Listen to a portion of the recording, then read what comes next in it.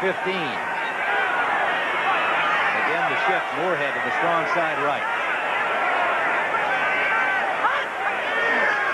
Cade is blitzing. Payton cut inside him.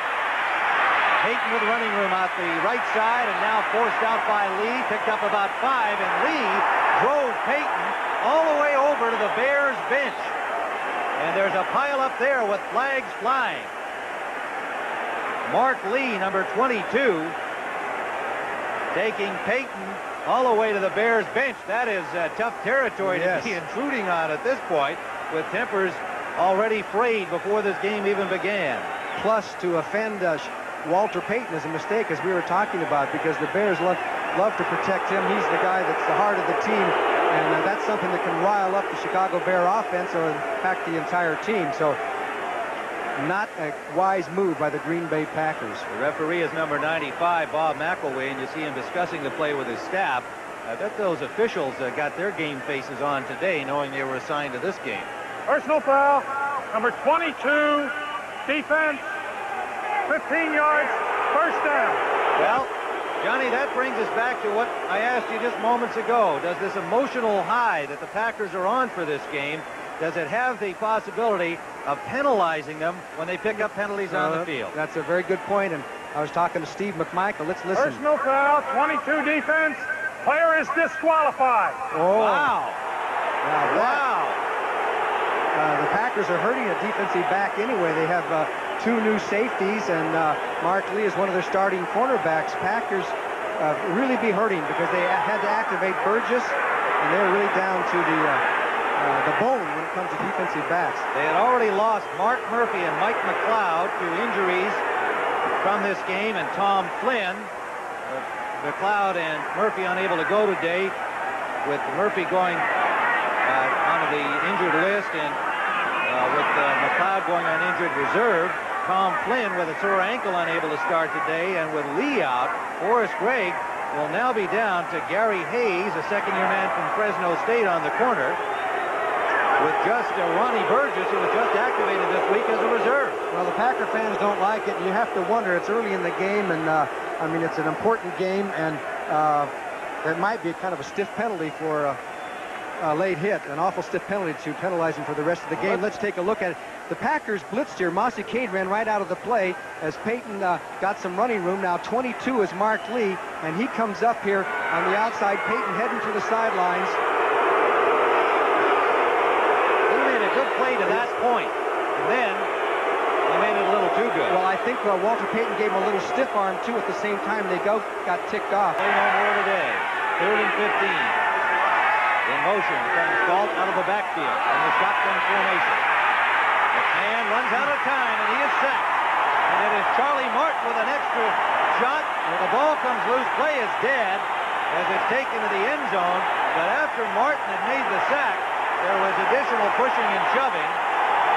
And now one must hope that this does not degenerate into a non-football game. The Packers, inspired with their emotion toward the Bears, have stopped them here, and the coaching staff is talking to Charlie Martin on the Packers sideline, trying to calm him down.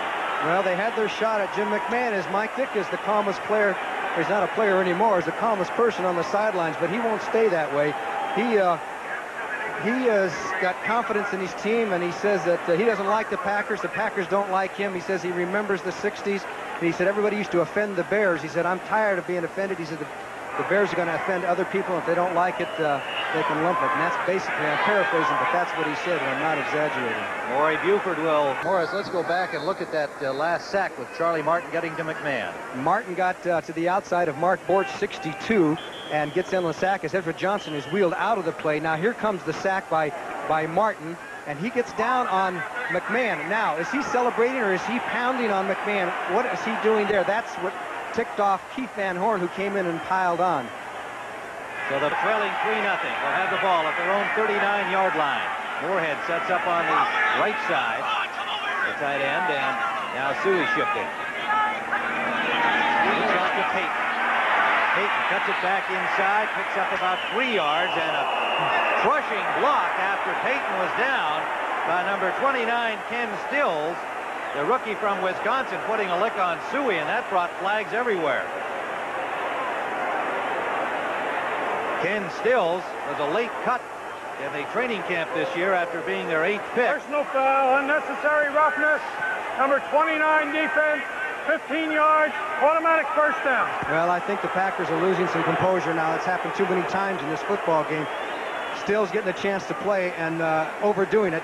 29 on 26. There was Suhey was just standing there uh, watching the play, and Stills came in and just gave him a clobber.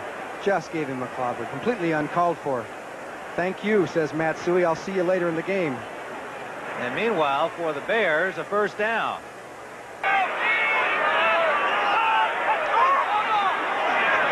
Zorn from the goal line takes a hit. The pass is caught by Coffman. A battle for the loose ball. Singletary on the coverage, and it will be Green Bay ball. What a catch by Coffman. Singletary is furious. He says he made the intercept. A 22-yard first down play. A flag down after the play was whistled dead. Well, Mike Singletary is upset, but it did appear that Coffman had the ball, went down, hit the turf, and then he yanked the ball out afterwards. And upended him.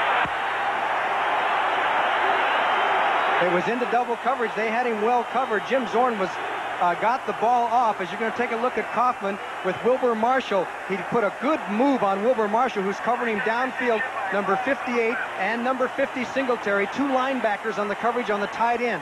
Now they have the coverage, but Coffman just went up, took the ball. He's down. He's got the ball at this point, and then it is kind of there. It is under his Yeah, foot. it It's kind of hard to tell, but it looked like when it came down, he had the ball. Yes, yes, he did, and that's what the officials ruled, that the play was over, that he was down with the ball, with the completion, and when it came loose, Singletary grabbed it and thought it should be a fumble.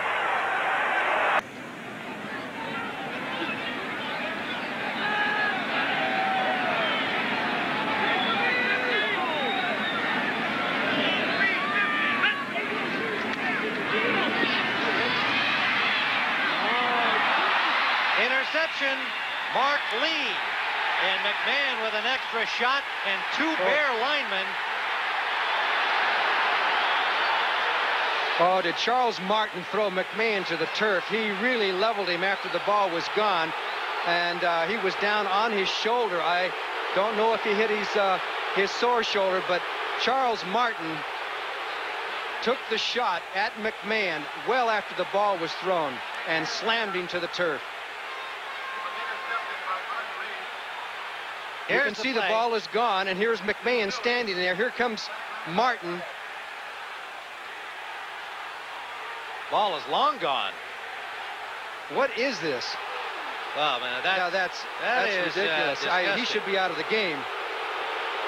yeah, I think there's going to be an ejection. Mike Ditka is out on the football on the field. field with Jerry Markbreit. I mean, that was a good second and a half, two seconds after the, the ball was downfield, and McMahon didn't even see Martin behind him. Well, we expected the rough stuff here, but we didn't expect uh, to see something quite that flagrant. A discussion with Markbreit and his colleagues. Now, And here's how it happened in regular speed. This is just the way it happened live. One, two. Now they're they're uh, if he's got to be out of the football game, and there's another uh, critical situation here. This game is going to get out of hand if the referees don't take a firm charge because the Bears are are are very mad about that. Uh, You know what happened last last year when Ken Stills hit uh, Matt Suhey. We say that there's uh, no love lost between the two teams, but now it is getting out of hand. Jerry Markbreit's got a job ahead of him. We saw Keith Van Horn, one of the first Bear offensive linemen to come back and push Martin away. And Martin is gone. Now, he was wearing a little towel on his belt with the numbers written on it of the guys that he intended to try and get some licks on. And on that list was We quarterback Jim McMahon. Pass interception by Green Bay. After the interception, we have a personal foul, disqualifying foul. Number 94, Green Bay. It's Green Bay's ball. First and 10 after 15-yard penalty. First down. Now, there's Charles Martin, number 94, What are they congratulating him for? third-year man from Livingston College. And he has been playing real well on the nose all season long.